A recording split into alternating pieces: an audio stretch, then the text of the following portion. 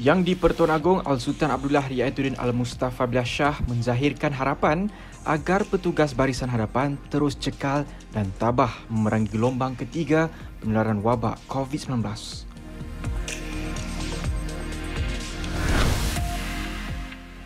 Seluruh negara kini diletakkan di bawah Perintah Kawalan Pergerakan PKP kecuali negeri Sarawak.